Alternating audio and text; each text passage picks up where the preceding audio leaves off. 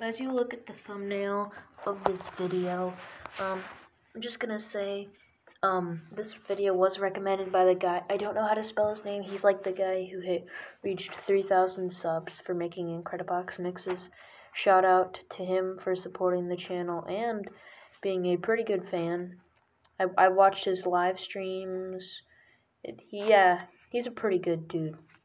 Also, um, update on the mod the mod is actually in progress and we've already gotten most of the beats done.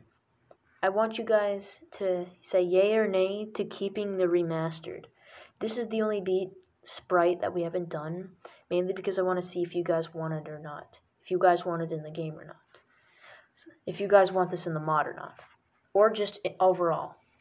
If you guys do, if you guys do, comment yes. And if you guys don't, then comment no.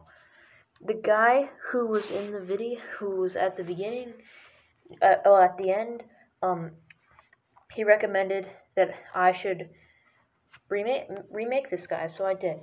Hope you guys enjoyed. Hope you guys enjoyed, and I'll see. Hope you guys enjoyed, and I'll see you guys in the next one. Goodbye.